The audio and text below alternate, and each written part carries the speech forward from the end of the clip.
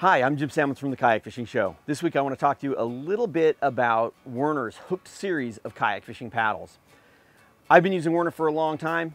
Definitely some of the best paddles. I'm not even some of the best paddles on the market. They are the best paddles on the market. They've got a paddle to fit everybody's paddling style and budget. The hooked series of paddles comes in several different blade styles. The Camano, Tybee, Shuna, and Skagit. If you're a low angle paddler like me, the Camano might be one of your better choices. It's their most popular paddle for low angle paddlers. A low angle paddler basically is somebody who's paddling in this zone and not pushing to the sky. This would be more of a high angle paddler pushing up high. A low angle paddler is here. So the Camano is about their most popular and the paddle that I use. It's very, very nice, has the adjustable ferrule, which I really like and comes in a variety of lengths. The Camano comes with the carbon blend shaft and has uh, fiberglass blades. It's got very light swing weight, which means less stress on your body all day long.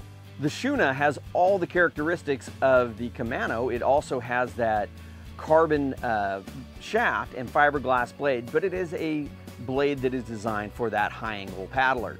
Rather than almost parallel to the water where you're a low angle paddler, uh, with the high angle paddler, your, your paddle is almost more straight up and down, so you can have a, a, a shorter but wider blade.